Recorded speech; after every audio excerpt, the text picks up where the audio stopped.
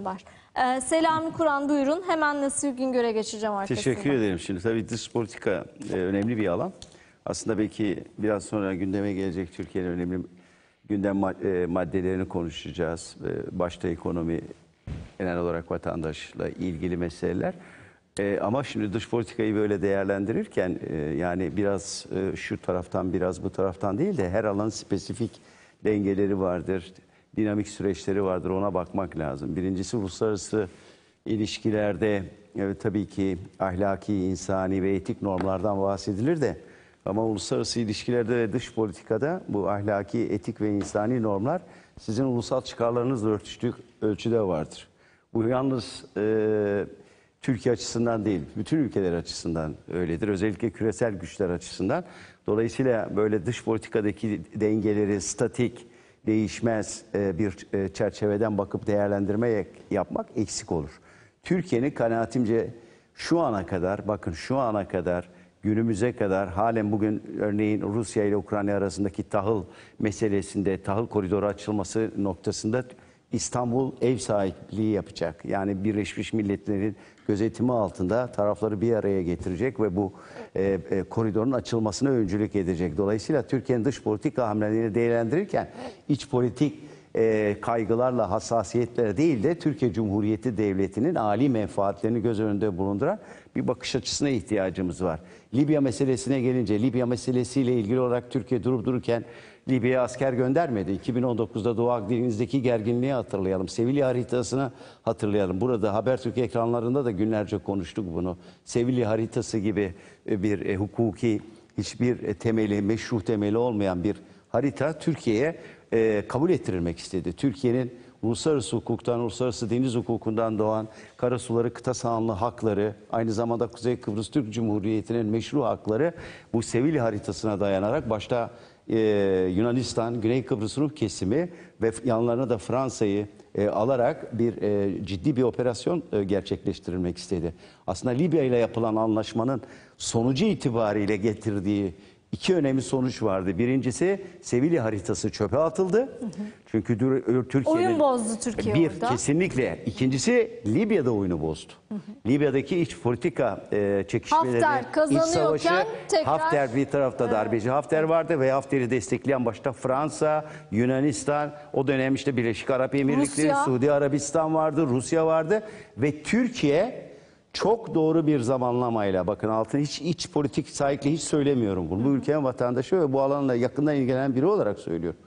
Türkiye'nin dış politikada yapmış olduğu özellikle de deniz yetki alanları ile ilgili olarak yapmış olduğu Türkiye Cumhuriyeti'nin iki tane önemli anlaşması vardır. Birincisi devletimizin kurucusu Mustafa Kemal Atatürk zamanında yapılan Montreux Anlaşması'dır.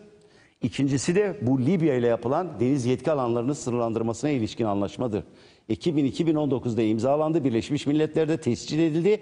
Bu deniz yetki alanlarına ilişkin konuda bütün bu e, gayri hukuki hiçbir temeli olmayan Sevilla haritası çöpe atıldı. Bunu Amerika Birleşik Devletleri de açıkladı. Avrupa Birliği de hemen yapmış olduğu açıklamada bunun AB hukuku açısından hiçbir kıymeti harbiyesinin olmadığını açıklamak zorunda kaldılar. Bakın zorunda kaldılar.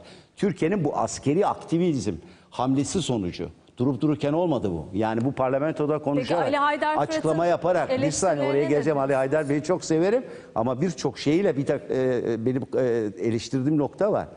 İkincisi e, ciddi şekilde denge ve Türkiye'nin bakın Türkiye'nin dış politikada iç politik sahiplerle her türlü eleştiri getirebilirsiniz. Eyvallah ama dış politika ile ilgili Türkiye'nin dış politikada atmış olduğu hamlelerinin tamamı ben altına imza atıyorum uluslararası hukukla çalışan biri olarak tamamen meşru hukuki temeli vardır.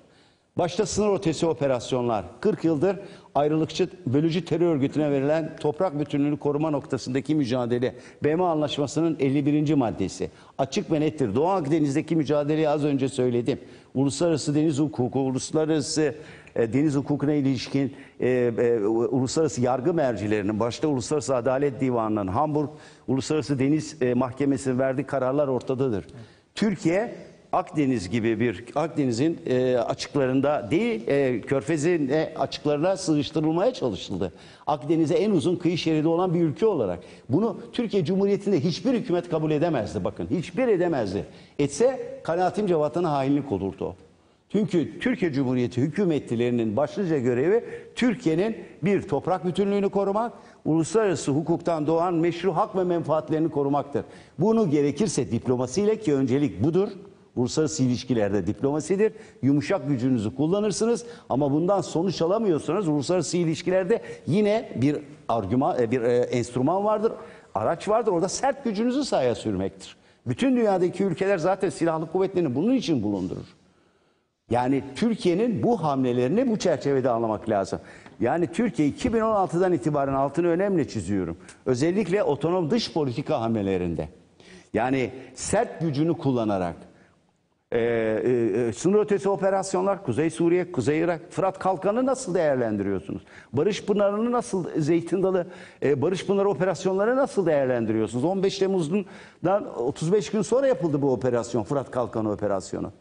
Yani Türkiye Cumhuriyeti bölgesindeki bu e, gelişmelere kayıtsız kalamazdı. Kendi milli çıkarları açısından kalamaz. Yani bu bir tercih değil, bu bir zorunluluk. Tabii ki uluslararası ilişkilerde biz devamlı bahsediyoruz. Efendim cum, e, uluslararası ilişkiler işte barışçıl e, şeylerle e, e, yürütülmesi lazım. diyor. Hocam diyor ki bahsediyoruz. Uluslararası uyuşmazlıklarda birinci şey e, barışçıl yollarla, müzakereler yoluyla, diplomasi yoluyla, arabuluculuk yöntemleriyle kullanılarak çözülmesi gerekir. Tamam bunlar deneniyor zaten. Ama bunlar mesela yapılıyor. Sayın Ama Çakıröz şöyle. CHP'den diyor ki Libya çöllerinde Mehmetçiğimizin macera peşinde ölmesini istemiyoruz. Bakın bakın onlar hamasi laflar. Bunlar hamasi laflar. Bütün silahlı kuvvetler bütün ülkelerde o ülkenin başta toprak bütünlüğü olmak üzere milli menfaatlerini, milli çıkarlarını korumak için vardır. Bütün ülkelerde bu. Başta toprak bütünlüğü altını çiziyor. Onlar hamasi laflar. Efendim e, tabii ki hiçbir Mehmetçiğin ayağına taş değmesini istemeyiz. Hiçbirimiz. Şüphesiz istemeyiz. Ama bakın buradaki şeyi farkındalığı ortaya koymaya çalışıyorum ben.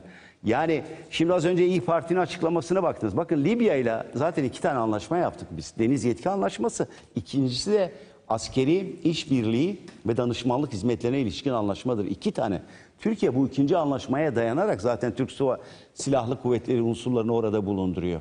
Ve bu anlaşma yapıldığı zaman da bakın o zaman muhalefet işte İyi Parti de dahil Cumhuriyet Halk Partisi de Türkiye'nin e, Libya'da bataklığa sapı, e, saplanacağını, başarısız kalacağını, e, netice alamayacağından bahisle hayır oyu, dedi, e, oyu kullandılar. Ama gelinen noktada tarih şahittir ve bölgedeki de gelişmeler de buna şahittir.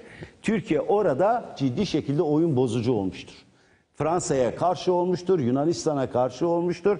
O zaman e, Libya'da Hafter yönetimini destekleyen bütün uluslararası güç odaklarına karşı Türkiye netice almıştır. Peki biraz iç politika Biraz dinamikleri iç açısından yani iç CHP İyi Parti meselesi bakımından değerlendirirseniz Bakın Cumhuriyet gücüyle. Halk Partisi'ni bakın Türkiye Cumhuriyeti'nin e, kurucu partili. Mustafa Kemal Atatürk kurdu. Ben bu dış politika hamleleriyle ilgili son 5-6 yıldır ciddi bir e, şeyde olduğunu düşünüyorum. Ben öyle gözlemliyorum. Bakın şimdiye kadar sınır ötesi operasyonları ile ilgili bütün tezkereler Cumhuriyet Halk Partisi evet oyu vermiştir. Ta ki sonuncuya kadar. Bu da iç politikaya yöne- yönelik bir yatırımdı. HDP'ye yönelik bir yatırımdı. Yani Cumhuriyet Halk Partisi'nde bulunan birçok insanın birçok kesimi, ulusalcı Kemalist kesimi bu e, Kuzey Suriye'ye yapılacak e, e, operasyonlarla ilgili tezkerede hayır oyu kullanılması rahatsız etmiştir. Ben yakın çevremden de biliyorum yakın etmiştir. Sadece iç politikaya yönelik yatırım. Haziran 23'e yönelik bir yatırımdır o.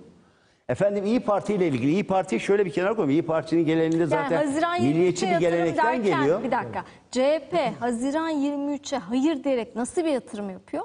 Hayır, he, he- sınır ötesi operasyonlara evet dese evet HDP ile arasındaki Hayır, ilişkiler. HDP seçmeninin oylarını almak E, için. tabii onu söylüyorum. Ama burada Libya'da E, Lib- ya bakın Libya'da zaten bakın şunu söylüyor.